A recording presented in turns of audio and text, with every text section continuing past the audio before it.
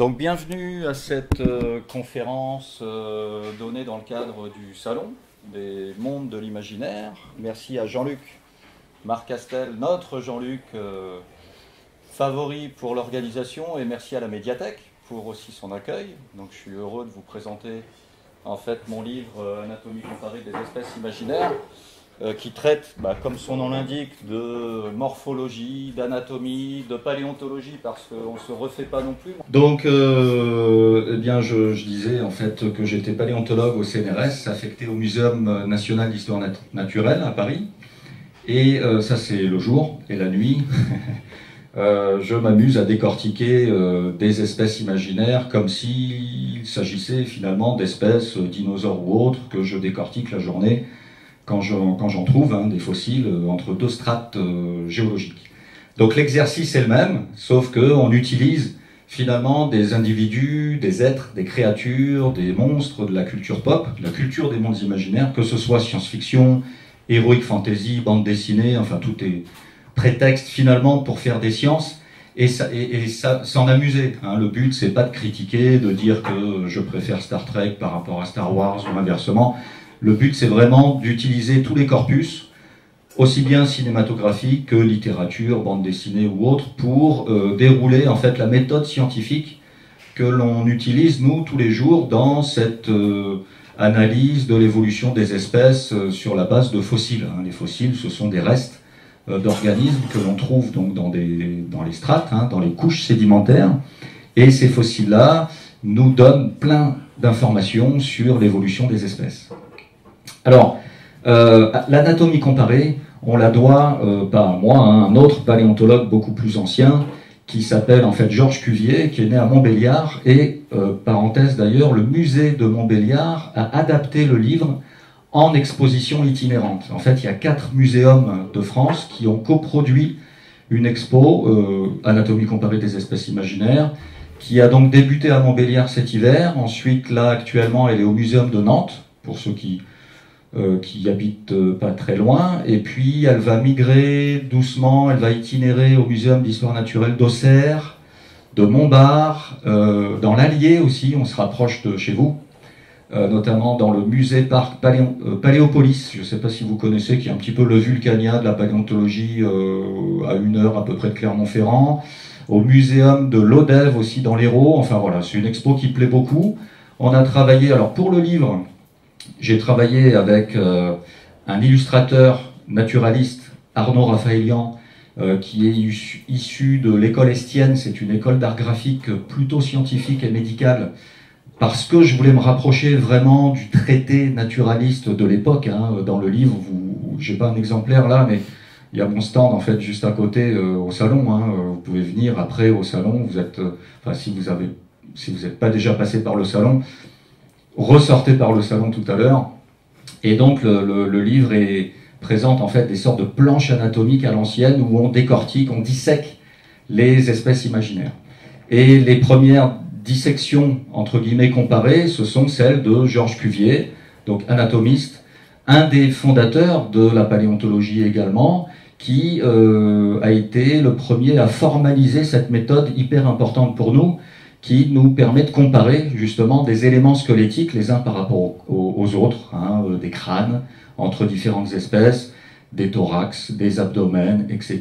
Et c'est en comparant en fait les organes que l'on est capable de remonter, de reconstruire en fait l'histoire évolutive des espèces. C'est ce qu'on appelle la phylogénie. Ça s'écrit avec un Y.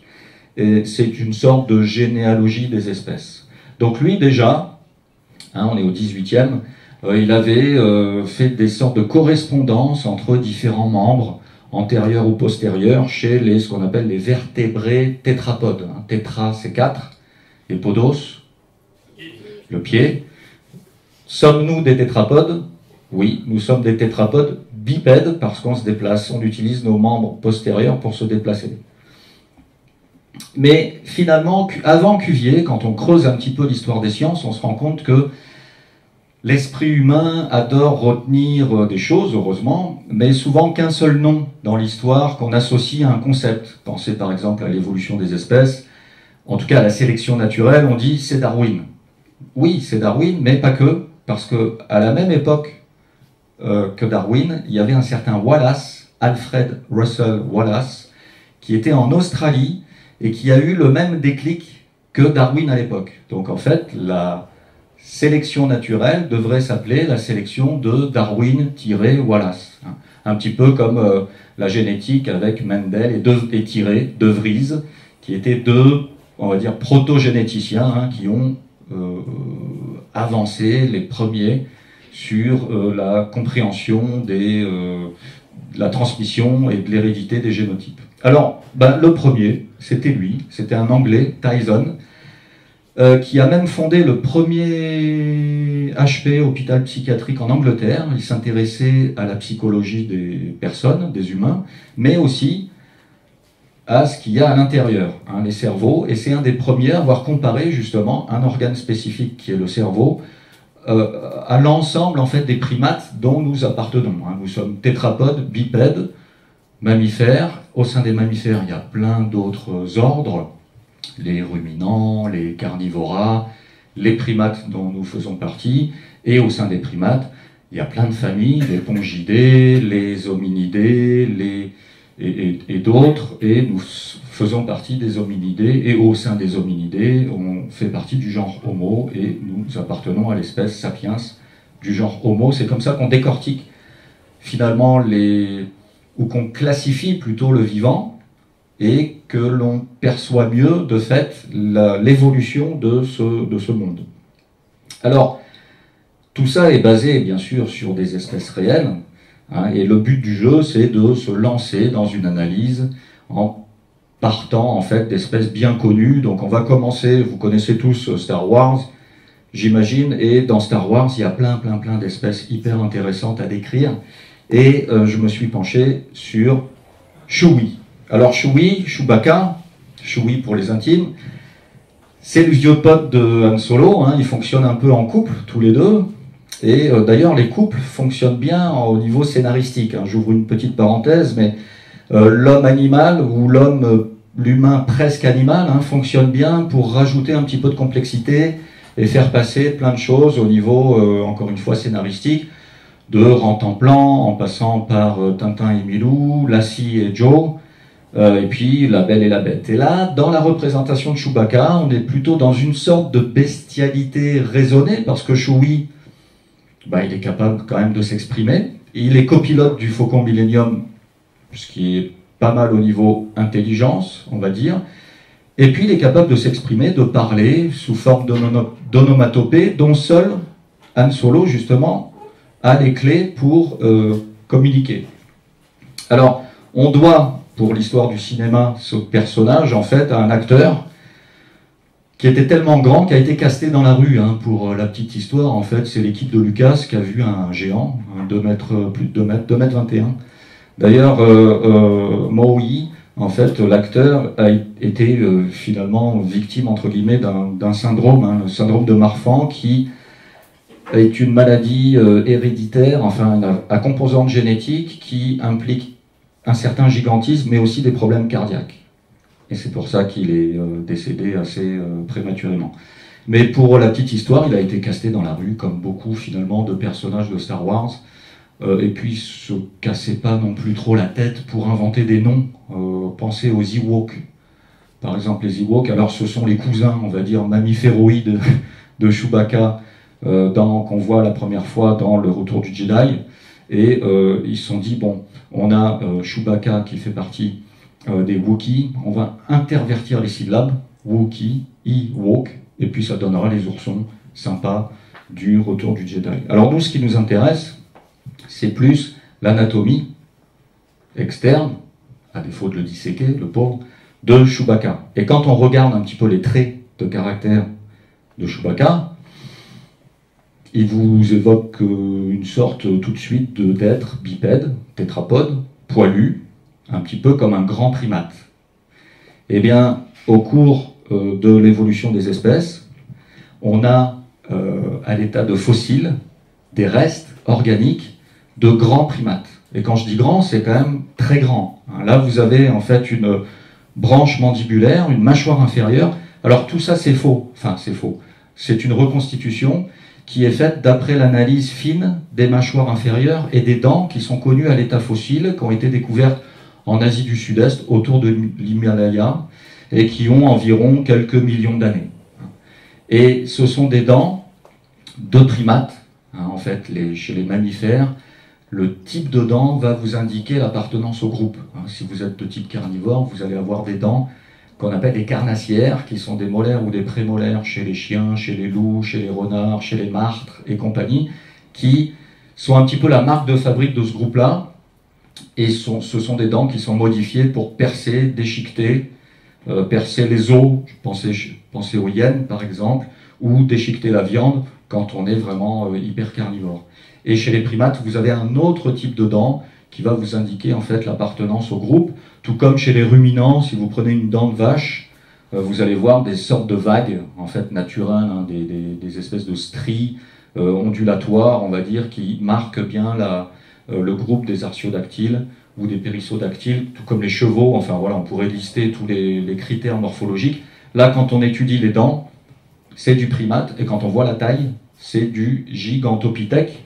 Hein, il porte bien son nom, c'est un grand primate euh, dont la longueur, dont la hauteur, pardon, est estimée à 2 euh, à 3 mètres de haut. Hein. Donc on se rapproche un petit peu du morphotype, on va dire, de Chewbacca. On a, euh, bon, voilà une reconstitution en fait, hein, évidemment. On a un être bipède d'environ 3 à 300 à 500 kg de masse estimée en fonction des dents. Alors vous allez me dire, oui, mais vous, paléontologue, vous êtes un peu magicien quand même. Comment vous faites à partir d'une dent? Comment vous faites pour reconnaître et reconstituer en fait la silhouette? Eh bien justement, c'est ce qu'on appelle l'anatomie comparée. La dent est typique d'un primate. La taille indique, en fait, euh, la taille de la dent indique, suggère en fait une certaine silhouette. Et du coup, en analysant un peu plus précisément la forme de la dent, on s'est rendu compte que le gigantopithèque appartenait non pas à la famille des hominidés, c'est-à-dire la nôtre, mais des pongidés. Est-ce que vous connaissez la famille des pongidés? Ouais, orang-outan. C'est pour ça que dans la reconstitution, euh, les paléo-artistes, hein, donc les artistes spécialisés dans les reconstitutions paléontologiques, ont fait une sorte de toison assez longue, comme les orang-outans actuels. Donc voilà euh, une sorte de dissection virtuelle de Chewbacca en mode gigantopithèque, et puis avec des incisives, avec des canines, et puis on imagine facilement un petit peu des, molaires proches du vrai gigantopithèque, donc qui se, qui baladait en fait euh, dans le pourtour de l'Himalaya il y a quelques milliers slash euh, millions d'années. Alors, est-ce que ça veut dire que Chewbacca est quelque part un des euh, représentants de l'évolution humaine Alors, j'aime bien cette photo-là, enfin cette représentation-là, pour la pour raconter qu'on représente souvent l'évolution sous cette forme-là très graduelle, alors que c'est faux. Ça, c'est une fausse vision de l'évolution des primates en particulier, ou de l'évolution des espèces en général. L'évolution n'est pas une ligne droite hein, qui va du chimpanzé jusqu'à l'homme. D'ailleurs, Darwin n'a jamais dit que l'homme descendait du singe. Darwin a dit que l'homme et le singe avaient un ancêtre commun. Donc ça change tout, en fait. Ça veut dire qu'il ne faut pas considérer l'évolution des espèces comme ça, mais plutôt sous forme de buissons ou d'arborescence, d'arbres évolutifs, où vous avez toutes les espèces, qu'elles soient fossiles ou actuelles, au même niveau, pratiquement, et que le jeu consiste à reconstituer les relations de parenté, qui sont des relations de cousinade, et pas des relations d'ancêtre à descendant. Hein. C'est pas parce que vous trouvez un fossile de 2 millions d'années dans une roche qu'il va être l'ancêtre d'un autre fossile qui a 1 million d'années. Hein. Il va être cousin, et c'est à vous, en tant que paléontologue, à partir de la morphologie, euh, d'établir en fait ce degré de, de, cousinage. Et donc là, vous avez la famille des hominidés, hein, la nomenclature, enfin le, fait de donner des noms correspond aussi à l'évolution des espèces que je disais tout à l'heure, avec nous sur une, des branches, hein, et vous voyez bien que la branche des chimpanzés, elle, a, elle partage un ancêtre commun avec la branche des humains et puis des, des, des gorilles aussi, donc les hominidés, et le gigantopithèque, quand on le place dans un arbre phylogénétique, eh bien, il est cousin de l'orang-outan, de par la morphologie des dents. Alors ça, c'est une vision arborescente, ok, de l'évolution des primates, mais si on rajoute les espèces fossiles, ça devient vite euh, plus compliqué et du coup plus intéressant. Euh, on a Sapiens qui est cousin de Néandertal. On a en nous des gènes aussi de Néandertaliens. Il y a eu assimilation par Sapiens du génotype en fait de Néandertal. Et puis, il faudrait rajouter, il y a quelques milliers d'années sur Terre, il n'y avait pas que Néandertal et Sapiens. Il y avait aussi les Denisoviens, il y avait les euh, entre guillemets le Hobbit, euh, en Indonésie. Il y avait, euh, avait d'autres humanités. Il se trouve qu'il n'y en a qu'une aujourd'hui euh, par assimilation génétique. Et puis, si vous descendez un peu plus dans l'arbre phylogénétique, vous avez Erectus, Habilis, des Australopithèques, mais pas que, des Paranthropus, etc. Et toujours en parallèle euh, d'autres primates. Donc Chewbacca, c'est une sorte de finalement de yéti sympa de l'espace, Hein, puisque le gigantopithèque, d'après les historiographes des mythologies, serait peut-être, alors à prendre avec des pincettes, lié à la légende du Yéti, toujours en Himalaya. Il y, aurait eu des observations plus ou moins directes entre gigantopithèque et humains anciens, sapiens anciens, et par transmission orale, les sapiens auraient justement répercuté de génération en génération cette histoire d'un grand euh, truc euh, bizarre, euh, menaçant peut-être, qui se baladait dans les montagnes à l'époque. Bon, voilà, encore une fois, à prendre avec des pincettes, mais c'est intéressant de faire le parallèle entre Choui et puis le Gigantopithèque. Alors, est-ce que vous voyez chez Chewbacca que des traits de primates Ou est-ce que vous voyez autre chose Très bien. La truffe du chien, il a une petite truffe, alors pas aussi grosse que celle-là, mais la truffe c'est quoi? C'est un, on appelle ça un rhinarium en fait euh, en sciences euh, naturelles. Le rhinarium, c'est une sorte d'excroissance de muqueuse nasale qui va optimiser, qui va vous permettre d'optimiser votre sensation euh, olfactive et décupler vos sens olfactifs.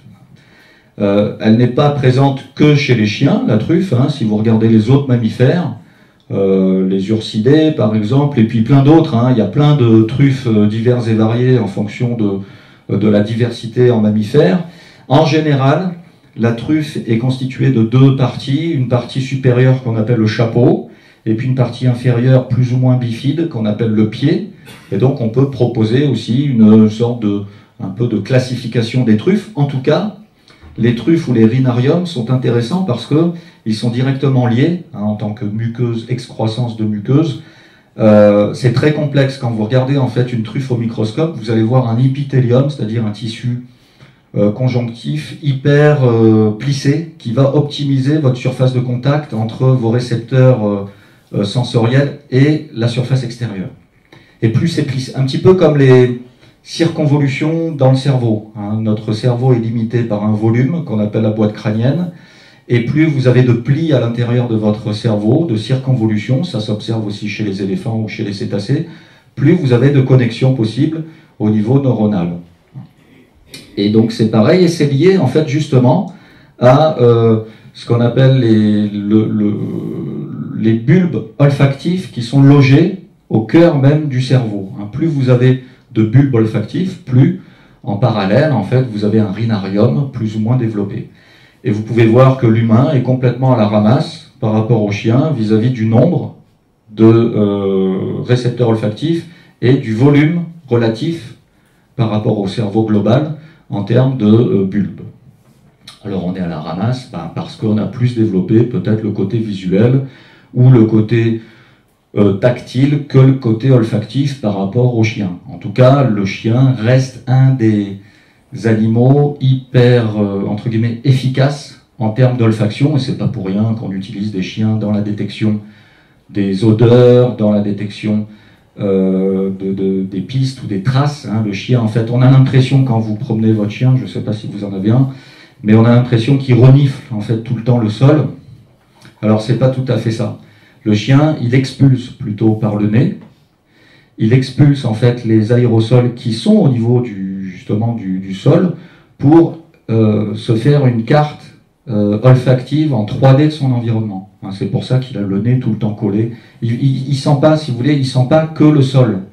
Il va euh, expulser par le nez pour euh, faire remonter toutes les odeurs en fait dans la rue, quoi.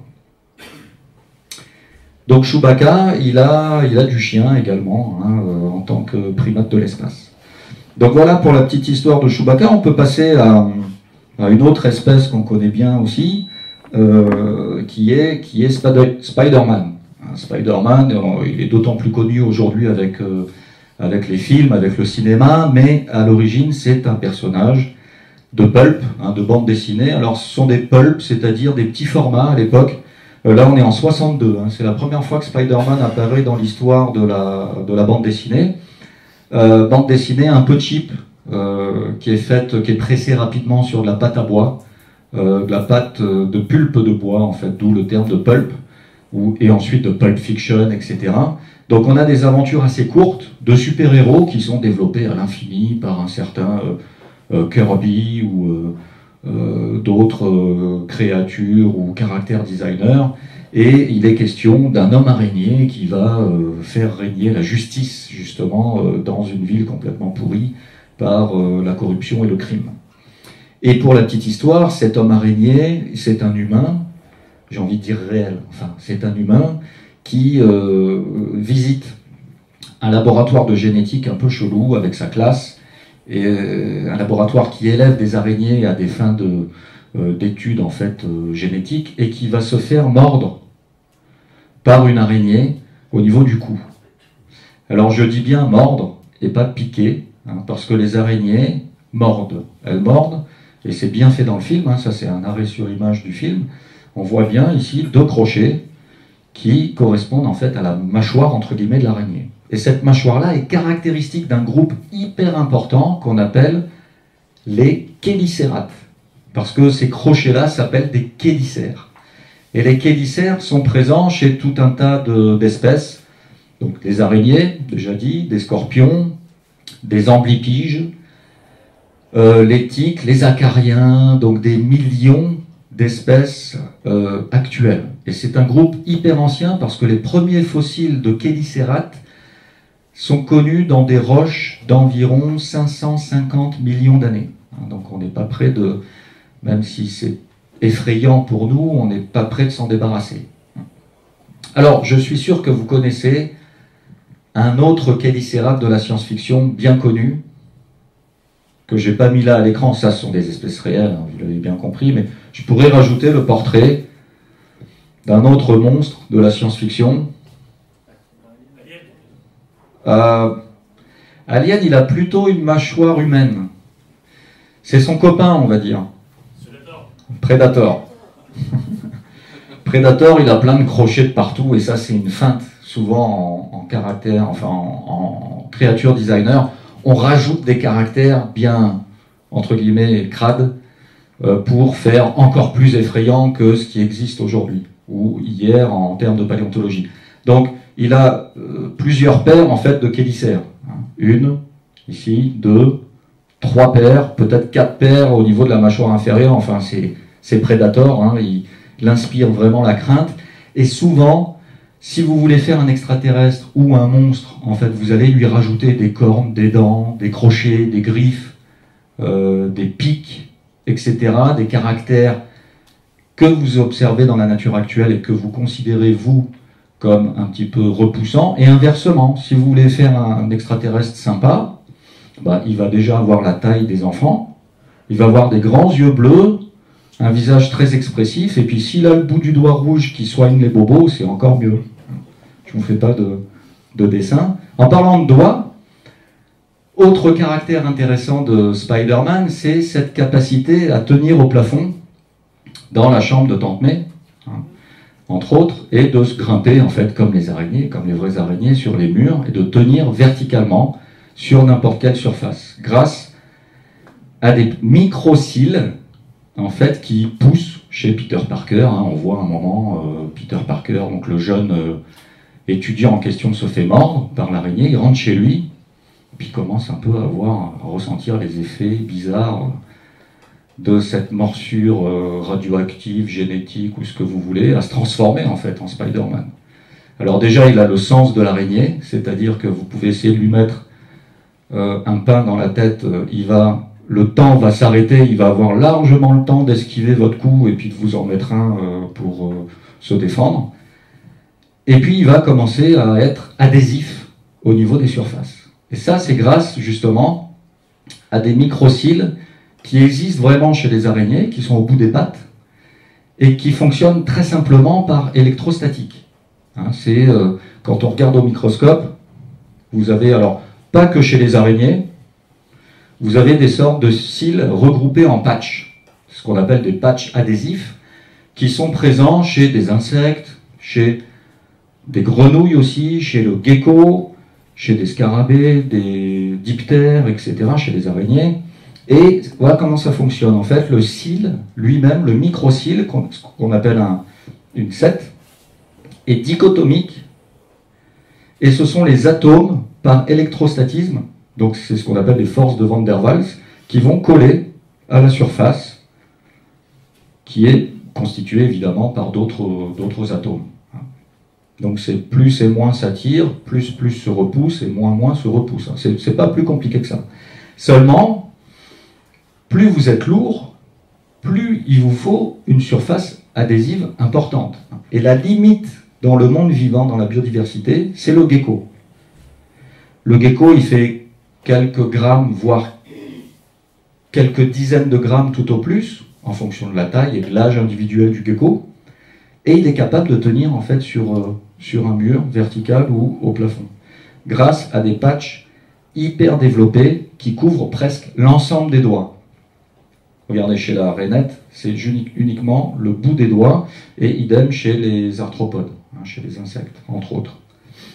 Donc pour faire tenir Peter Parker sur le plafond de sa chambre, il lui faudrait des patchs adhésifs. Il y a des physiciens qui sont amusés, des biophysiciens qui sont amusés à calculer. Il faudrait qu'il fasse du genre 74 en pointure pour tenir en fait au mur. Bon, on sait que euh, les films euh, de super-héros ne sont pas des documentaires sur la biodiversité, certes, mais c'est intéressant de mentionner aussi que chez les araignées réelles, une des caractéristiques importantes, ce sont les soies.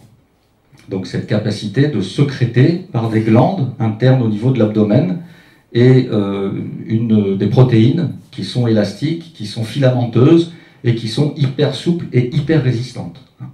C'est la soie, en fait, c'est des mélanges de protéines qui vont être sécrétés par l'extérieur, hein, juste sous l'anus, euh, qui vont permettre à l'animal de tisser des toiles, de créer des sacs, de se faire des lassos. Il y a différentes utilisations en de la soie chez les araignées, et euh, on est en train de tenter de reconstituer en fait ces mélanges protéiniques en laboratoire à des fins industrielles d'utilisation, d'application, notamment de tissus Kevlar pour l'impact des balles ou alors de euh, tissus, de fils en fait en microchirurgie pour recoudre certaines plaies internes, parce qu'il y a assimilation aussi avec euh, nos tissus à nous. Donc la soie est hyper intéressante en termes de, constitution, hein. on connaît tous les toiles d'araignée, ça c'est quelques fils au microscope, et puis au microscope électronique à balayage, ce sont vraiment des fibrilles enchevêtrées qui vont créer l'élasticité et la robustesse en fait de la, de la soie en question. Et les araignées, encore une fois, l'utilisent à, euh, des fins vraiment euh, diverses, euh, l'assaut ou ici la soie est projetée en fait sur la proie qui est engluée et ensuite la soie, la proie pardon, est tirée pour être dévorée, ou alors de refuge tout simplement, ou genre de sac à dos pour porter les œufs. On pense que d'ailleurs la première fonction de la soie chez les araignées était une fonction euh, d'aide au transport des œufs pour optimiser la dispersion des araignées. Vous savez que les araignées, c'est un monde. Les araignées constituent des milliers, voire des millions d'espèces aujourd'hui, qu'elles sont uniquement carnivores, très voraces, qu'elles mangent à peu près l'équivalent par jour en masse de proies. C'est comme si nous, en termes d'humanité, on mangeait tous les jours une autre humanité pour pouvoir euh, se nourrir et se développer. Et puis les araignées ont des chélicères pour anesthésier, entre guillemets, leur proie. Elles n'ont pas de mandibule, elles n'ont pas de mâchoire, elles vont ensuite cracher une sorte de suc digestif pour dissoudre et aspirer de l'intérieur en fait la proie. Bonne digestion. Et donc Arnaud Raphaëlian, l'illustrateur du livre, a bien repris en fait les différentes utilisations de la, soie qu'on voit dans les films ou dans les bandes dessinées hein, pour euh, capturer les proies ou servir de euh, d'amortissement lors des chutes ou techniquement et classiquement se balader de gratte-ciel en gratte-ciel euh, d'une manière assez rapide. Donc voilà pour Spider-Man une petite analyse en sciences naturelles. On peut passer aussi à une autre espèce ou plutôt un autre groupe d'espèces euh, bien connues, les dragons. Alors les dragons, c'est un monde aussi vraiment à part entière. On en connaît, on en connaît tous, hein, des dragons, et pourtant ce sont encore une fois des espèces imaginaires. Des espèces imaginaires assez anciennes en Occident, où là vous avez une toile euh, visible au Louvre hein, de Raphaël, donc on est à peu près au 16e, qui présente Saint Georges en train de tuer la bête des enfers, donc le dragon, et de sauver en fait euh, les populations. Donc là, il est passé, il a, fini déjà euh, d'assommer euh, sérieusement le monstre avec sa lance, et puis il passe à l'épée pour le coup final. Et ce qui est intéressant, c'est de voir que sous nos latitudes, le dragon est plutôt un monstre des enfers, la bête qui symbolise en fait le mal, alors que dans d'autres civilisations, le dragon, notamment en Asie du Sud-Est, le dragon est plutôt sympa en fait comme euh, monstre, j'ai envie de dire. pour la petite histoire, en Chine, le dragon, c'est alors c'est plus un. Là, on voit que je n'ai pas trop parlé d'anatomie, mais c'est une sorte de monstre à la fois reptilien, avec un museau de mammifère, des ailes de chauve-souris. Alors ça dépend aussi des représentations. Des fois on le fait avec des ailes de chauve-souris, des fois pas. On peut parler éventuellement de vivernes qui sont cousines un petit peu des dragons. Pour ceux qui ont vu le trône de fer, euh, Game of Thrones, ou qui ont lu plutôt la série de, romans de euh, George Martin, euh, il est question aussi dans, la même région à l'origine des dragons de vivernes, qui n'ont pas d'ailes et qui sont plutôt encore un peu plus cavernicoles que les dragons classiques du trône de fer. Donc là, on a un être vraiment différent en fonction des mythologies. Là, on a quelque chose qui se rapproche du serpent, avec des pattes quand même, des écailles de poisson, et puis un côté plus positif, parce que dans euh, la mythologie euh, comparée des dragons, on apprend que c'est un animal en Asie du Sud-Est qui va descendre de la voûte céleste pour euh, répandre le bien, en fait, et, les, distribuer un petit peu les richesses aux humains. Mais cette bête-là doit remonter rapidement avant la fermeture de la voûte céleste en question, sinon, dixit les tablettes historiques en question, sinon l'animal tombe pétrifié au sol. Et dans les mêmes temples confucianistes ou taoïstes, je ne sais plus, en Chine, on a trouvé à côté de ces tablettes-là des fragments de fossiles de sauropodes. Les sauropodes, c'est les grands dinosaures avec un long cou et une longue queue. Donc peut-être que la dragonologie est, on va dire, l'ancêtre de la paléontologie. En tout cas, la mythologie, c'est une tentative d'interprétation du monde euh, qui préfigure en fait certaines disciplines scientifiques. Je ne suis pas en train de vous dire que la paléontologie c'est de la science-fiction hein, ou de la mythologie. Il y a des méthodes scientifiques justement qui permettent d'investiguer, mais c'est intéressant de faire des, des études de parenté entre les mythes. Hein. Euh, il y a certains spécialistes aussi qui se posent des questions sur les dragons parce qu'il y a beaucoup de civilisations à peu près en même temps euh, qui ont développé leur propre dragon. Hein. là, j'ai parlé du dragon occidental, du dragon oriental, mais pensez au Quetzalcoatl, par exemple, en Mésoamérique, pensez à d'autres formes un peu à la fois reptiliennes, de type oiseau, parce que le Quetzalcoatl a des, plumes, hein, c'est le fameux serpent à plumes, ou de type un peu serpent-poisson. Euh, Donc il y a comme ça des constructions chimériques où on prend des parties déjà connues d'organes ou des parties de corps d'espèces différentes et on compose nous-mêmes des êtres mythologiques. Hein. Pensez typiquement justement aux dieux égyptiens qui sont des, des anthropomorphes avec des têtes d'animaux euh, et qui symbolisent justement en même temps quelque chose.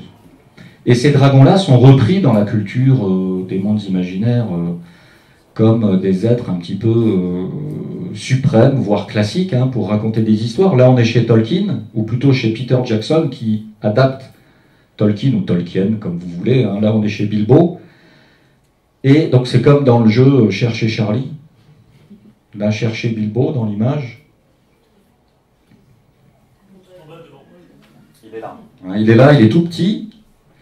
Ce qui donne un petit peu l'appréhension de la taille de Smog. Hein, là, vous avez un des, le dernier représentant de l'espèce des dragons euh, dans la Terre du Milieu.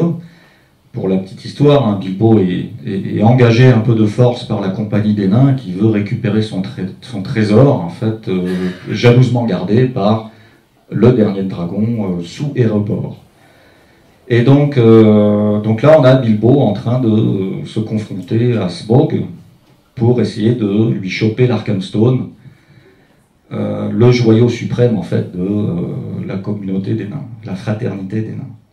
Donc là, on a un être géant, hein, le dragon est souvent euh, hyper grand, avec des ailes de chauve-souris, une morphologie de type reptilienne, des cornes, avec des pics. Donc on parle, nous, en termes de scientifiques, d'ostéodermes. Hein, ce sont des excroissances de peau qui sont ossifiées et qu'on trouve aussi chez les lézards, chez les dinosaures. Pensez aux stégosaures par exemple, pensez à d'autres euh, dinosaures comme les ankylosaures qui sont les, dinosaures cuirassés euh, qui sont truffés d'ostéodermes. Et là, ce qui est intéressant, c'est que Peter Jackson, en tout cas l'équipe de, Peter Jackson, a pensé le dragon, a pensé Smoke d'une manière hyper réaliste parce que les ailes sont pas des membres qui sont rajoutés à une structure existante. Dans le sens où ce sont les pattes avant, comme chez les chauves-souris en fait, qui sont transformées en, euh, organes sélectionnés pour le vol. Alors vol battu, hein, typique des chauves-souris. Euh, et ce qui est intéressant, ce sont, justement les doigts ici qui sont super allongés pour soutenir en fait cette espèce de membrane euh, qui permet à l'animal de, voler. Comme chez les chauves-souris ou comme chez les ptérosaures, les ptérosaures étaient un groupe de reptiles qui volaient dans le ciel à l'époque des dinosaures et qui ont autre type, un autre type d'ailes, on va le voir. Euh, mais avant, voilà, ça c'est un petit peu le dragon moderne. Et George Martin, qui est un peu considéré, peut-être à tort, mais comme le Tolkien américain, euh, le dit bien aussi dans ses dragons à lui, euh, du Trône de Fer et de House of the Dragon, pour ceux qui suivent un peu la série de cet univers-là. Il dit bien que lui aussi réfléchit en termes d'anatomie et que ces dragons sont réalistes dans le sens où ce sont les pattes avant qui, sont, qui forment les ailes. C'est pas une paire d'ailes qui est rajoutée au dragon. Comme ça se faisait jusque dans les années 70 à peu près ou euh, un peu avant. Quand vous regardez ici euh, le dessin de la couverture de Bilbo, dessin fait par Tolkien lui-même, hein, parce que Tolkien était philologue, linguiste, auteur, dessinateur. dans certaines éditions, en fait, vous pouvez retrouver les illustrations de Tolkien lui-même. Et là, on sent que Smog, alors ça se voit pas super bien parce que Smog est à moitié recouvert par le trésor qu'il euh, conserve, mais on a une, des pattes avant, au début, on a une paire d'ailes au niveau du dos, et on imagine, je pense, assez facilement une paire de pattes sous le tas d'or. Euh, paire de pattes qu'on retrouve ici sous forme de logotype. Hein, vous avez les membres antérieurs ici, les ailes, et les membres postérieurs. Donc là, on n'est plus dans le groupe des tétrapodes. On est dans le groupe des hexapodes. Alors, est-ce que vous connaissez des vrais animaux pattes Ouais, les insectes. Donc là, les insectes, c'est quand même très différent des tétrapodes qui sont des vertébrés. Donc là, il y a, entre guillemets, un petit souci au niveau créature design, mais on ne va pas jeter la pierre à Tolkien. Hein. c'est comme ça, à l'époque, qu'on représentait, en fait, euh, classiquement les, dragons. Autre dragon, on est chez qui? Harry Potter. C'est le manière à pointe qui crache du feu, un caractéristique aussi euh, générale des dragons, avec plein de piquants, euh, plein d'ostéodermes pointus. On retrouve des ailes, des pattes avant bien transformées en ailes. Et lui, au niveau de la défense passive, avec ses pics là, il craignait pas grand-chose en plus de, son, de sa flamme. défense passive que l'on retrouve dans les vrais reptiles. ça, c'est un petit lézard australien qui s'appelle Moloch oridus, hein, il porte bien son nom. Euh, il n'est pas trop enquiquiné par les prédateurs, évidemment. Il a les écailles qui sont truffées d'ostéodermes pointus. C'est ce qu'on appelle la défense active ou passive en fonction un petit peu de la thermorégulation. Euh, ce sont des systèmes organiques qu'on retrouve aussi. Hein. J'ai parlé un petit peu des cératopsiens. Là, vous avez euh, plein de cornes autour de la collerette. C'est pas le Triceratops, hein, c'est le cousin, on va dire, du Triceratops. Il s'appelle le Styracosaurus, mais c'est le même groupe hein, des cératopsiens. Et puis d'autres dragons. Alors, dans le registre de la science-fiction, on en utilise aussi pour raconter des histoires. Avatar. Là, vous avez typiquement une sorte de dragon, un peu moderniste, avec euh, des compositions chimériques. Vous avez une tête de ptérosaure, de Rhamphorhynchus pour ceux qui connaissent un peu le groupe des ptérosaures. Vous avez des ailes qui, au bout, en fait, évoquent la membrane et l'air des insectes et puis des crochets un peu de, reptiles ou même d'insectes, une queue en gouvernail, comme chez certains poissons. Donc là, vous avez la chimère parfaite que l'on voit un peu partout sur euh, Pandora, hein, parce que l'action se déroule essentiellement sur Pandora. Donc cette planète, en fait, euh, colonisée et exploitée par les humains qui viennent euh, extraire l'unobtanium pour leur technologie et qui, les humains, sont confrontés, en fait, aux aux êtres endémiques de la planète qui vont répondre en fait aux attaques à la colonisation humaine. Donc c'est un joli western en fait, euh, planète opéra, hein, Avatar, qu'on aime bien voir au cinéma, avec des créatures très originales, mais finalement quand on gratte un peu en termes de morphologie, moi je trouve que c'est pas si original que ça. Vous, prenez des chevaux, vous rajoutez une paire de pattes, et puis vous avez les espèces de montures qui sont utilisées par les navires. Euh, si vous avez vu le dernier Avatar, le 2, ça se passe beaucoup dans les mers. J'ai pas vu beaucoup d'originalité euh, en termes de reptiles marins de la préhistoire. Bon, c'est sympa quand même. Ce qui est bien dans Avatar, j'aime bien James Cameron, ne hein, vous inquiétez pas, mais ce que j'ai bien aimé, c'est euh, les liens écologiques, en fait, entre les espèces. Chaque espèce est bien replacée dans sa, ce qu'on appelle son réseau écotrophique, dans sa chaîne alimentaire en fait. Et tout ça participe justement au degré de réalisme qui fait qu'on rentre dans l'histoire, à défaut de morphologie euh, originale. Mais c'est pas évident de faire de l'originalité à chaque fois parce que eh ben, on essaie de faire du nouveau en fonction implicitement de ce qu'on observe. Donc on va retrouver, inconsciemment ou pas, des caractères morphologiques que l'on peut voir ailleurs. Et puis, euh, je l'ai déjà dit, mais une des caractéristiques du dragon, c'est de cracher des flammes. Hein. Là, vous avez, euh, donc, on est dans le trône de fer, on a un des trois dragons de Dany, Targaryen, en train de latter tranquillement l'armée des Lannister. Euh, donc les flammes, alors, un animal réel qui crache du feu, on ne connaît pas. Hein. On pense que, alors, dans l'histoire un petit peu des sciences naturelles ou de l'iconographie en fait naturelle, euh, il y a des animaux qui sont associés au feu. Hein, évidemment, pensez aux salamandres, par exemple. En héraldique aussi, la salamandre est souvent associée à des flammes sur des boucliers ou des grandes, des grandes familles. Je crois François Ier avait sur, sa, sur son blason en fait euh, une ou plusieurs salamandres. Et ça serait dû au fait que ces salamandres-là, ces petits animaux, vivent sous nos latitudes dans des souches de bois, dans, dans de la mousse, et à l'époque ils avaient des, des, âtres en fait ou des endroits pour faire le feu de cheminée assez grand, donc ils pouvaient se permettre de balancer carrément des souches d'arbres et à partir d'une certaine température, tous les petits animaux qui étaient planqués encore dans les souches ou les troncs d'arbres, eh bien fuyaient le, feu et c'est comme ça qu'on aurait associé certaines espèces aux, flammes. En tout cas, ça, ça n'existe pas. Par contre, ce qui existe, c'est des animaux assez grands, capables de, alors pas aussi grands que ça, mais capables de voler à partir d'une certaine vitesse. Pourquoi?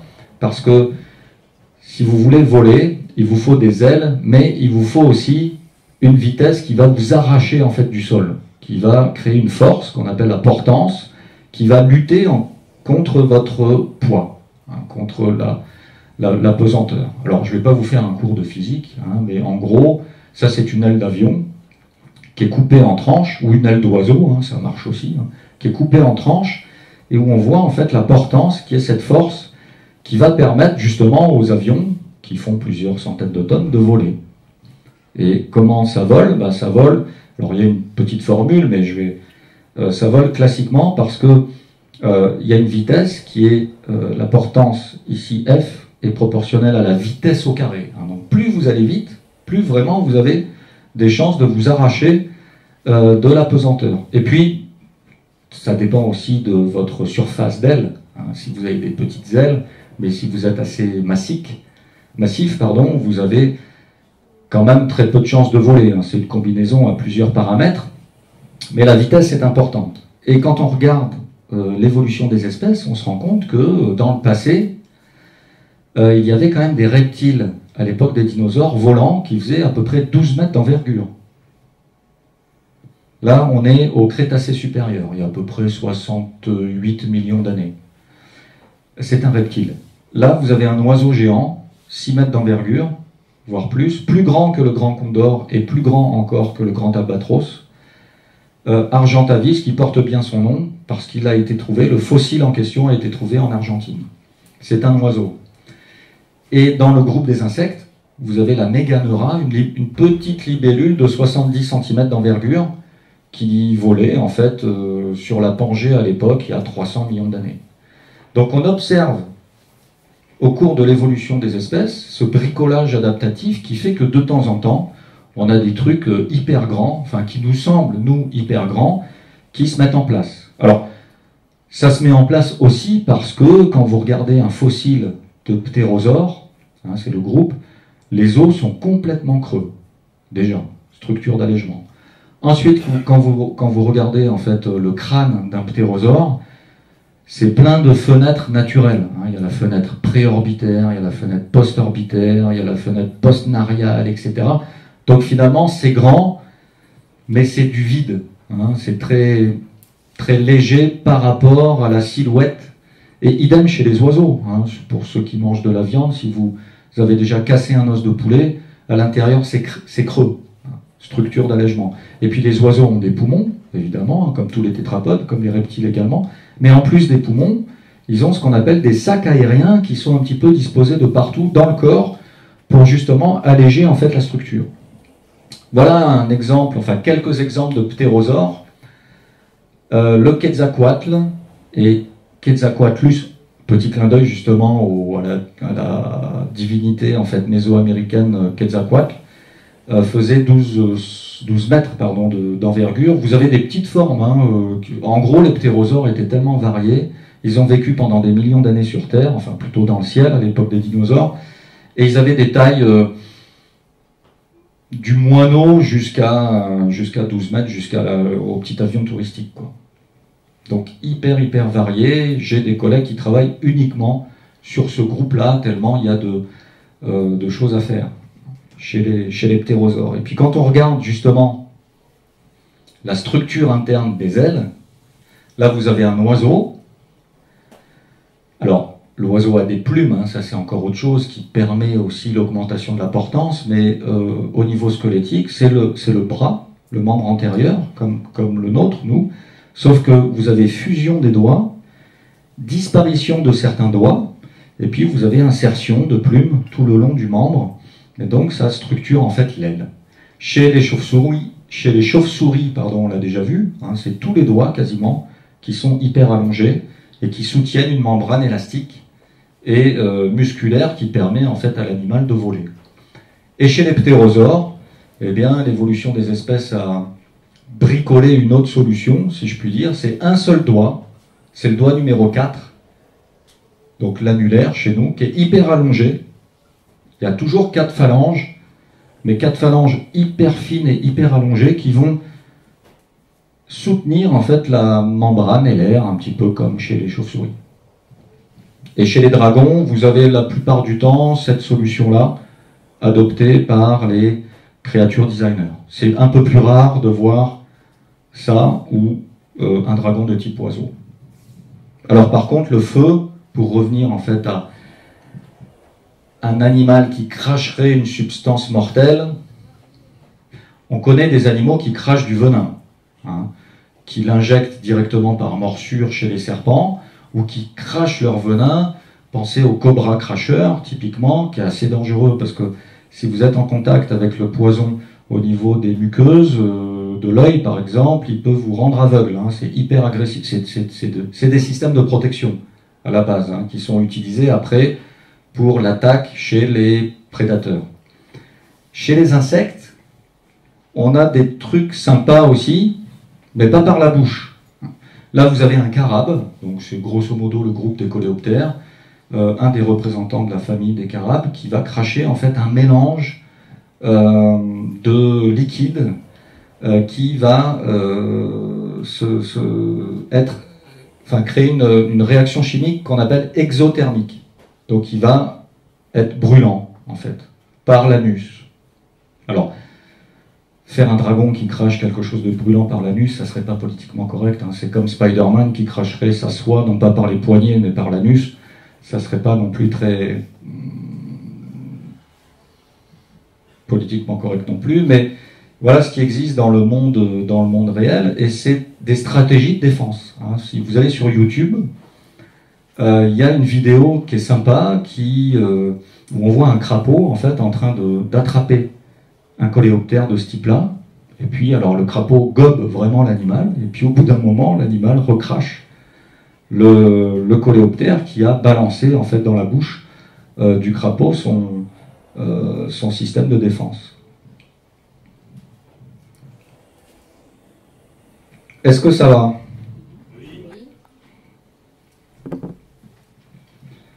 Alors j'ai encore une espèce, mais on peut peut-être s'arrêter là aussi pour les questions. Euh, c'est une espèce qui est plus euh, dédiée à la bande dessinée. C'est le marsupilami. Est-ce que, comme vous voulez, soit je continue, soit... Allez, rapidement. Le marsu, il est intéressant aussi. En fait, toutes les espèces sont intéressantes dans la culture des mondes imaginaires parce que il y, a, maintenant deux versions, deux versions principales du marsupilami. La version originale, celle de Franquin en 52, et puis vous avez la, version, on va dire, un peu plus adulte ou moderne de Frank P, où là vous avez un autre marsu avec des membres antérieurs un peu de type gorille, on se rapproche un peu des primates. Et pour la petite histoire, euh, Franquin, euh, dans les années 80, a imaginé, en fait, euh, a validé plutôt, ou essayé de justifier son marsupilami euh, quand il prenait le tram en fait pour aller euh, travailler avec ses collègues dessinateurs, il y avait un contrôleur euh, belge qui fermait la porte du tramway, contrôlait en même temps, et ils se sont dit tiens ça serait amusant d'imaginer un être fantastique capable de faire plein de trucs en même temps avec ses membres, y compris avec sa queue hyper, hyper allongée et hyper souple, ce qui est devenu en fait le marsupilami. Alors dans marsupilami, il y a marsupial, euh, le marsupilami n'est pas un marsupial parce qu'il n'a pas de poche, hein, si on devait le décortiquer. Euh, par contre, le marsupilami pond des œufs. Il construit des nids en hauteur et puis il pond des œufs. Ça, c'est caractéristique d'un autre groupe de mammifères qu'on appelle les monotrèmes. Vous connaissez l'ornithorynque, il y en a d'autres.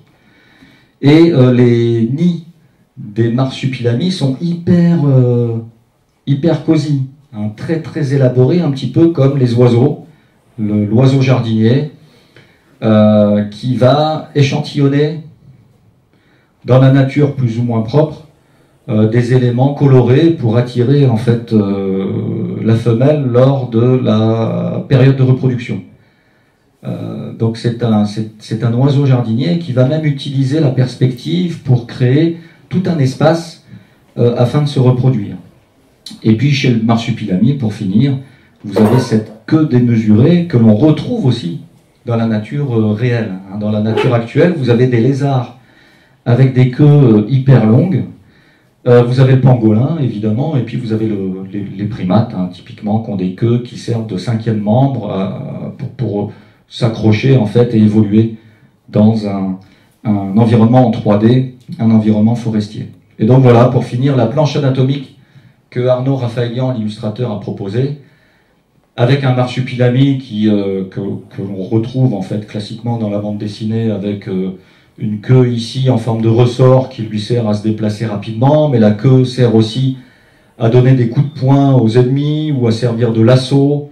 Il y a toute une utilisation diverse et variée de la queue. On s'est posé la question aussi sur euh, est-ce que cette queue est constituée d'une de nombreuses vertèbres assez courtes ou alors d'un nombre réduit de vertèbres hyper allongées. Donc on est plutôt allé dans le sens de la première solution parce que ça augmente un peu plus la souplesse. Et puis l'œuf du marsupilami qui est présent dans l'exposition, euh, donc actuellement au muséum de Nantes, un œuf en forme de poire pour que le petit, l'embryon, puisse tranquillement euh, développer sa, queue proportionnellement très longue par rapport au reste du corps. Donc voilà, c'est en fait l'histoire des espèces imaginaires n'est pas finie parce que l'expo continue euh, son, voyage dans différents musées en France.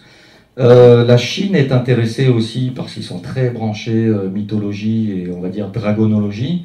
Et puis avec Arnaud Raphaëlian, le collègue illustrateur, on est en train de plancher sur un deuxième tome d'anatomie comparée des espèces imaginaires où vous découvrirez pas l'année prochaine mais l'autre, parce qu'il faut le temps aussi d'écrire les textes, euh, de nouvelles espèces euh, issues des mondes imaginaires. Merci beaucoup.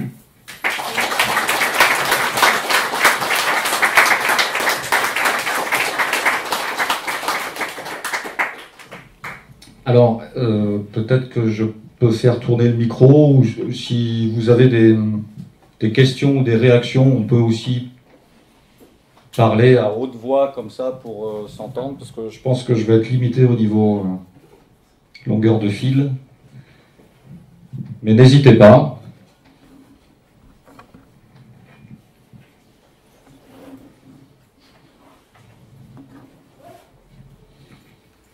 Oui.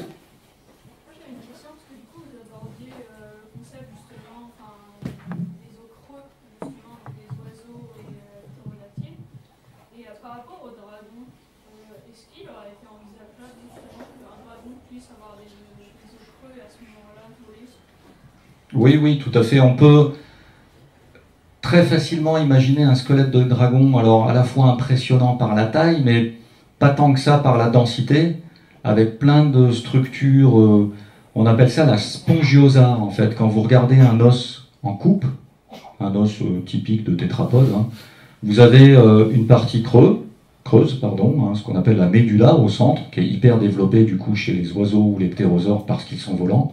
Vous avez un tissu intermédiaire qui est spongieux, ça, ça se voit bien chez une côtelette de mouton. Quand vous cassez la côtelette, on voit une structure un peu spongieuse. Ça, c'est ce qu'on appelle la spongiosa. C'est un, tissu intermédiaire. Et puis, en périphérie, vous avez la corticale qui présente de temps en temps des lignes d'arrêt de croissance, aussi comme les cernes des arbres, et qui est constituée d'un tissu qu'on appelle lamellaire zonaire ou fibrolamellaire en fonction des espèces. Mais on peut très bien imaginer un dragon avec euh, une grosse médula, donc beaucoup de vide, et une petite corticale avec éventuellement pas de spongiosa, des sacs aériens qui participent peut-être aussi à l'excrétion de gaz inflammables. Dans la planche anatomique d'Arnaud, euh, il a dessiné des dents euh, en silex. Alors je lui ai dit, il faut, ok pour le silex, mais il faut de la, pyrite, parce que nos ancêtres préhistoriques faisait du feu, pas qu'avec des silex. Si vous frottez de silex, vous allez, faire des étincelles, il n'y a pas de souci. Mais si vous voulez une étincelle qui est qui dure, en fait, qui est, lourde et qui va durer longtemps, il faut frotter un silex, il faut percuter un silex avec un morceau de malachite ou avec un morceau de pyrite. C'est un autre type de pierre euh, à base de... Il y a beaucoup de fer et de soufre, je crois, et c'est justement le soufre qui va brûler un peu plus lentement que le silex, je fais simple, hein, et qui va vous permettre d'avoir un feu un peu plus, enfin d'optimiser votre chance de, faire du feu. Donc euh, il a fait une dent supérieure en pyrite et une dent inférieure en, silex ou l'inverse, je ne sais plus. Et puis des poches d'hydrogène ou de gaz inflammable, de méthane ou autre, un petit peu comme les zeppelins, qui avaient, euh, voilà, qui étaient des engins en fait énormes mais finalement euh, très très peu dense et qui permettait de se déplacer dans les airs. Donc oui, on pourrait imaginer un dragon de ce type-là, en mélangeant, toujours pareil, en fait, des caractères réels pour essayer de le rendre le plus plausible possible. Après, il y a la magie aussi, qui fait que les dragons volent. La magie euh, en fantaisie explique tout. Donc euh, là, on n'est pas dans une approche euh, logique ou scientifique. On est dans une approche de fantaisie qui, se justifie à elle-même, hein, parce qu'on est avant tout dans la culture des mondes imaginaires, donc en littérature essentiellement. La littérature est un art, donc tout est permis. Oui. Dans, l'histoire sans fin, vous diriez que la, la bête sur laquelle vole Bastien est assimilé à un dragon ou bien un chien très allongé qui Oui, oui, oui, le dragon de l'histoire sans fin est super. C'est un dragon un peu mammiféroïde, avec vraiment une tête de chien. Je ne sais plus le nom, il y a, il y a deux versions de... différentes. C'est ça. Euh, Falcor, c'est dans le roman. Non, ou dans le film. C'est ça. Et, et Fulchur, c'est dans le roman. Et dans tous les cas, en tout cas, euh, c'est un être euh, avec quatre membres qui vole sans ailes, qui est hyper allongé, qui a, une, sorte de fourrure euh, blanchâtre et qui a une tête de chien sympa. Donc un, dragon plutôt mammiféroïde. Je le mettrais dans le groupe des mammifères. Mais il y a d'autres dragons que je mettrais dans d'autres groupes. Pensez à, justement au film 3D. Dragon. Ah oui, il y a Peter Elliott, où là on a un dinosaure avec des toutes petites ailes euh, micro de chauve-souris. Mais dans le, je sais pas si vous avez vu le, film, je crois que c'est Pixar, euh, Dragon.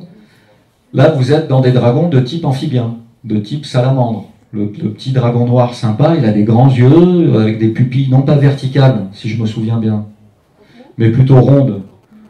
Euh, comment vous dites? Voilà. Et il est noir comme certaines salamandres, et puis il a des petites dents pointues coniques encore une fois, comme les amphibiens. Donc c'est marrant de voir en fait que chaque auteur s'approprie aussi euh, un peu ses connaissances, hein, évidemment, en, sciences nat ou pas. Hein, euh, c'est pas forcément voulu. Il y a aussi juste le cerveau qui va penser à inventer des choses, mais qui sont reprises en fait inconsciemment dans ce que le cerveau a enregistré euh, avant de créer. Quoi. C'est, comme les scénarios, c'est comme les personnages aussi les, caractères designers sur Hollywood s'inspirent beaucoup d'autres personnages réels ou imaginaires pour composer et euh, exprimer des choses en fonction des morphologies aussi. C'est comme l'histoire d'E.T. De, tout à l'heure.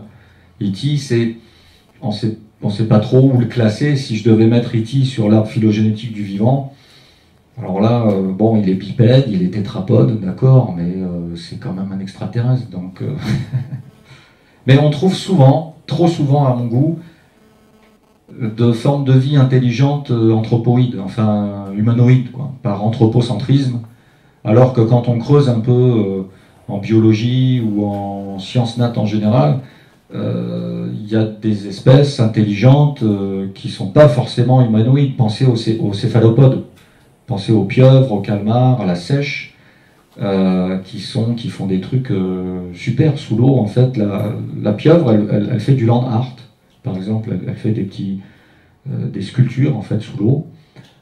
Pensez aux cétacés aussi, qui communiquent très bien avec un cerveau bourré de circonvolutions. Pensez aux proboscidiens, au groupe des éléphants.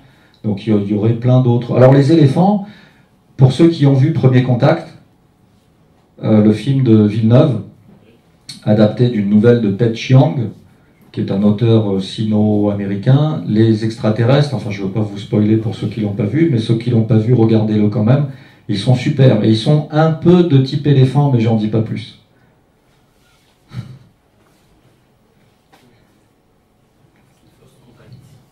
Oui Est-ce que, vous pensez que de la manière qu'aujourd'hui on va faire étudier scientifiquement les fossiles anciens, euh, certaines civilisations, enfin certaines cultures beaucoup plus anciennes que la nôtre aient pu constater sur le terrain euh, des fossiles, et auquel cas on euh, ait tiré des conclusions, pas forcément scientifiques, mais mythologiques, et auquel cas est-ce que vous auriez des références bibliographiques ou, ou autres à nous donner pour justement avoir, enfin, qui auraient étudié, des auteurs qui auraient étudié l'influence de ces reliques? Oui. Oui, oui, tout à fait. Alors, euh, comme référence, je vous conseille la lecture d'un livre d'Éric Buffetot, qui est un collègue paléontologue qui s'intéresse beaucoup aussi à l'histoire des sciences. Euh, le titre, c'est Des fossiles et des hommes. Et il raconte en fait toutes les aventures euh, proto-scientifiques dans l'interprétation des fossiles. Parce qu'il a fallu attendre un bon moment pour que déjà les fossiles soient considérés comme des restes organiques. Pendant longtemps, jusqu'à la Renaissance à peu près, voire même au siècle des Lumières, un fossile, c'était ce qu'on appelait des curiosités de la nature, qui étaient un peu saupoudrées sur Terre par euh, Dieu ou d'autres divinités pour amuser et questionner les humains. Bon, ça, ça voulait dire qu'on n'en savait rien sur l'origine organique des fossiles. On avait inventé en fait euh, ce truc-là. Ensuite, les fossiles, quand on a reconnu l'existence organique, enfin l'origine organique de ces restes-là, euh, ont été utilisés à des fins diverses et variées. Il y avait sur la table des, des seigneurs, des rois ou des ducs, il y avait souvent ce qu'on appelait des glossopètres, c'est-à-dire des dents de requin ou des artefacts, euh, des fossiles, quoi, qui euh, étaient censés éloigner les poisons et les maléfices qu'on pouvait amener à table. Donc il y avait en fait vraiment une superstition associée aux fossiles avant de comprendre que c'était des vrais restes d'organismes grâce à l'anatomie comparée, grâce aux sciences euh, du vivant, où on a commencé à comparer en fait des espèces actuelles. Typiquement, un des premiers dinosaures décrits, c'est l'iguanodon. Euh, je crois que c'est Mantel, à la fin du 19e, a trouvé des dents, et il s'est dit, mais en fait, c'est des dents de lézard, mais c'est des dents de lézard, des dents d'iguane, mais c'est des dents d'iguane géantes. Donc je peux pas appeler ça iguane parce que ça a l'air d'être constitué de pierre. Donc c'est bien du fossile. Et ce sont des iguanes géants. Et iguanodon, c'est la dent d'iguane en grec ou en latin, je sais plus. Et donc petit à petit, en fait, euh, par déduction, on s'est rendu compte que euh, quand on comparait toutes les espèces, on arrivait justement à une interprétation un peu plus scientifique que euh, que superficielle comme à l'époque. Mais on ne va pas jeter la pierre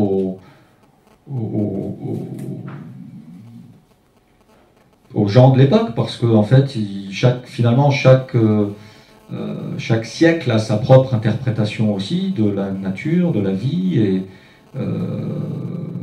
quand on voit que en Chine, on commençait à interpréter les fossiles de dinosaures comme des restes de dragons, on était très proche, j'ai envie de dire, de la réalité, même si on sait que les dragons n'existent pas, c'était une certaine euh, interprétation en fait.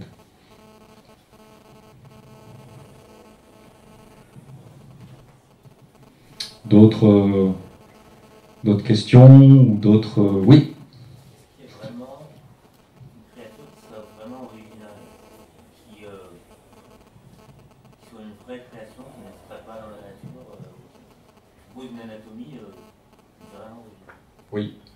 Moi, j'aime bien Alien. Mais Alien, quelque part, c'est aussi une chimère. Parce que, alors, Alien, ce que j'aime bien, c'est qu'à la base, c'est une œuvre d'art, en fait. C'est pas né de la tête, du cerveau d'un créature designer ou d'un cinéaste.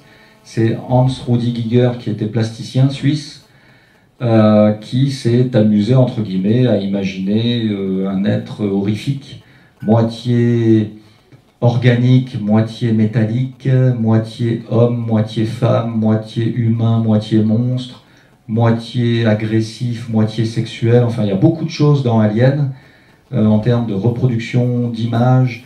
Et euh, il a développé tellement cette créature. C'est un, un, euh, une peinture faite à l'aérographe hein, des années, je sais plus, je crois que c'est 80 qui a été vraiment, qui a inspiré en fait l'équipe hollywoodienne qui ensuite s'est accaparé un petit peu dans le bon sens du terme le monstre de Giger pour en faire euh, une franchise, hein, euh, Alien. Maintenant, on en est à combien? 6, je crois 7 avec les préquels. Et puis il y a Alien versus Predator, il y a les spin-offs, enfin il y a. puis il y a les jeux de rôle, enfin les jeux vidéo, enfin Alien maintenant fait partie vraiment de la, culture pop. Hein. C'est peut-être le dragon de nos mythologies modernes, tellement euh, il est quelque part assez logique. Ce que j'aime bien, c'est que c'est un être vraiment hybride, mais à la fois avec un développement, un mode de développement hyper complexe. Et l'artiste a vraiment pensé au mode de développement, au mode de reproduction, au mode de dissémination, parce qu'Alien, euh, c'est un monstre inventé par euh, un droïde aussi, le même droïde qui a été créé par les humains. Donc euh, voilà, il y, a tout le, il y a le mythe de Prométhée aussi derrière, qui est très intéressant. Et puis il y a cette morphologie insectoïde, mais en même temps avec des vertèbres au niveau de la queue, avec cette tête hyper longue, on ne sait pas trop ce qu'il y a dedans. Il y a un cerveau, ou en tout cas des organes des sens hyper développés, alors que dans le premier, en tout cas, Alien n'a pas Dieu. Donc on peut imaginer euh, des sens qui nous dépassent pour pouvoir repérer les proies. C'est le prédateur ultime, à moitié parasitique, euh, d'abord endo, enfin ectoparasitoïde, ensuite endoparasitoïde, et on parle de parasitoïde en termes de biologie parce que l'hôte meurt à la fin du cycle.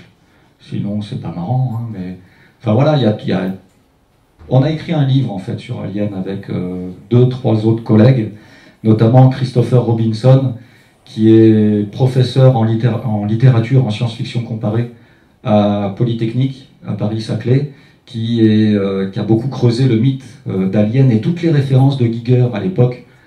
Giger a été traumatisé par la guerre et il y a beaucoup d'images de masques à gaz en fait.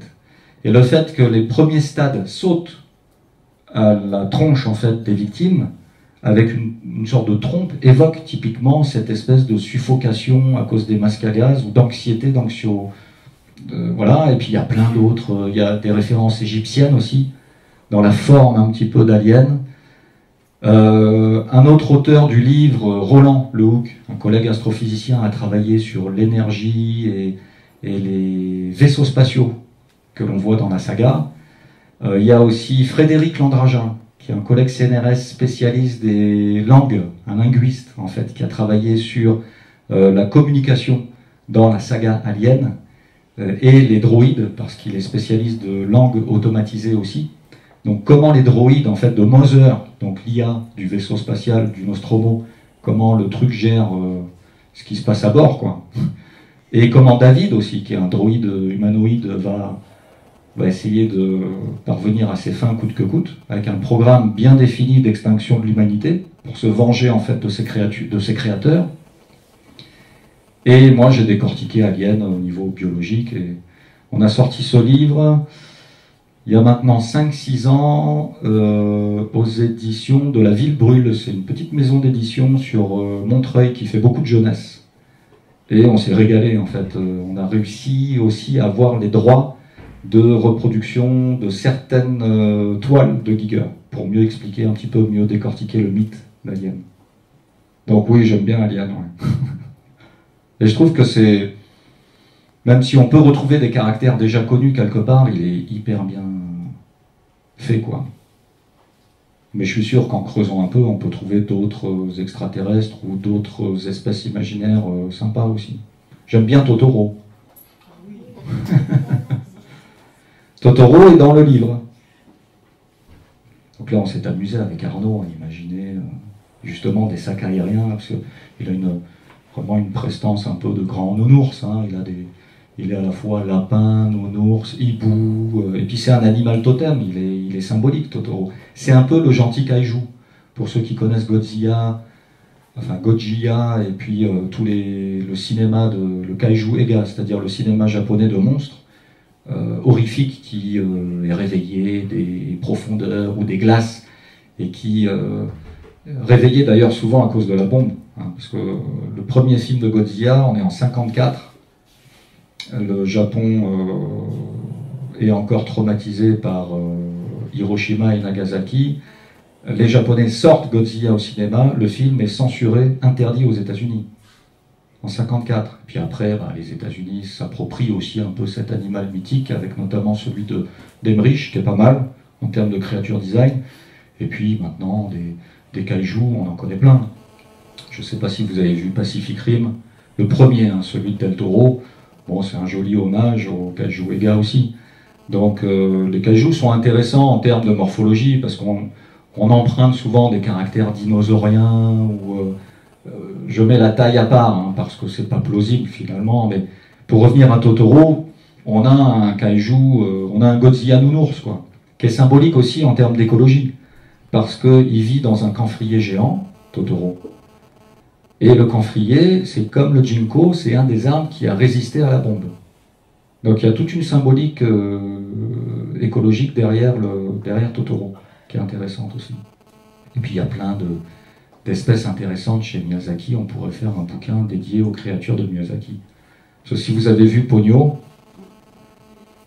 Pogno, à un moment, euh, après le tsunami, euh, il se balade dans l'océan et vous retrouvez tout le bestiaire du paléozoïque, en termes de poissons, de placodermes, pour les férus de paléontologie et de céphalaspides aussi, ces espèces de poissons avec des têtes de boucliers. Et, tout ça a été repris par Miyazaki. Donc euh, c'est marrant de voir finalement comment les auteurs se documentent et sont très au fait des connaissances de leurs époques, mais même à l'époque de Jules Verne. Jules Verne, euh, dans son voyage au centre de la Terre, les protagonistes, à un moment, ils, échouent en gros sur cette espèce de mer intérieure géante, là, ils construisent un radeau, et puis ils partent et ils voient un ichthyosaure, ils assistent à un combat mortel entre un plésiosaure et un ichthyosaure. Et les reptiles marins sont hyper bien décrits par Jules Verne, qui était au courant des découvertes paléontologiques de l'époque. À l'époque, c'était une femme anglaise, Marie Anning, qui collectait, qui ramassait beaucoup de reptiles marins euh, du côté de l'Angleterre et qui euh, léguait et vendait en fait ses fossiles au British Museum. Et euh, elle publiait, enfin elle participait aux publications, et Jules Verne était très, très au courant, très au fait de la paléontologie de son époque. Alors, il décuple les tailles des animaux, mais ça c'est une feinte classique aussi pour... Euh, c'est le côté un peu cinématographique et intéressant aussi de Jules Verne, mais tous décuplent les tailles, parce que plus c'est gros, plus ça fait peur, plus c'est monstrueux, et même sur des animaux réalistes. Euh, dans Les Dents de la Mer, par exemple, Spielberg imagine un grand requin blanc, ok, bon, ça existe, enfin, je ne veux pas vous faire peur quand vous, quand vous êtes euh, sur la plage, mais il y a de temps en temps des grands blancs qui font plus de 10 mètres, euh, qui se baladent, quoi. Alors c'est très rare de voir un requin aussi grand que celui des Dents de la Mer, qui a combien? 18, je crois Sauf peut-être le mégalodon, évidemment, mais le mégalodon n'existe plus. Les dents fossiles que l'on trouve de mégalodon correspondent à une sorte de grand blanc de presque 20 mètres, je crois. Mais c'est du fossile et ça a quelques millions d'années. Par contre, Spielberg, qu'est-ce qu'il fait pour rendre son requin encore plus affreux? C'est qu'il augmente proportionnellement la taille des dents par rapport à l'ouverture de la mâchoire. Donc ça rajoute un peu le côté horrifique. Mais ils font tout ça en termes de créature design aussi, en fonction de ce qu'ils veulent, euh, de ce qu'ils veulent faire passer. Les Gremlins font partie du livre aussi. On s'est régalé, de la deuxième édition. Fait, la première édition ne traitait pas de Gremlins, mais on a rajouté les Gremlins. Et ce qui m'a poussé à revoir le, film, le premier, parce qu'il y, en a plusieurs, et je l'ai trouvé encore plus punk que quand je l'ai vu ado. C'est vraiment un film euh, très très punk parce que les Gremlins font n'importe quoi. Enfin, ils sèment la terreur, le chaos dans la ville là le soir. Ils sont eux, pour le coup, très politiquement incorrects aussi. Et bah, dans, les Gremlins, on parle beaucoup de, de caractère réversif dans l'évolution des espèces. On en profite entre guillemets pour euh, rappeler ce qu'est l'évolution des espèces. C'est un phénomène en fait globalement irréversible mais de temps en temps, on observe ce qu'on appelle justement des réversions de caractère. Et les gremlins, c'est un peu ça. C'est des gentils nounours, donc plutôt de type mammifère, qui vont se transformer en espèces de trucs reptiliens, un peu crado, euh, agressifs, avec des griffes, des écailles, euh, un peu comme des raptors sans queue, quoi. On les compare à des raptors avec des têtes ou des oreilles de chauve-souris sans, sans queue. Ce qui les rapproche un peu plus aussi des, euh, des humains. Et puis, les gremlins, c'est intéressant parce que le, petit mogwai, au début, il est vendu euh, sous le manteau un Américain qui veut faire un cadeau pour son fils. Et puis, euh, le, fils du, de l'antiquaire qui ne veut pas vendre son mogwai, lui dit il y a des règles à respecter avec le mogwai, faites attention, il faut pas lui donner à manger après minuit, faut pas les tremper dans l'eau, et faut pas les exposer à la lumière. Évidemment, euh, il va se passer ce qui, ce qui se passe souvent quand euh, l'humain est aux commandes dans la nature. Quoi. Donc c'est aussi un, une sorte de message qui nous rappelle d'arrêter de faire n'importe quoi avec euh, la biodiversité actuelle. Quoi une sorte de mise en garde. Merci. Donc je vous donne rendez-vous au salon juste à côté pour en savoir plus, pour ceux qui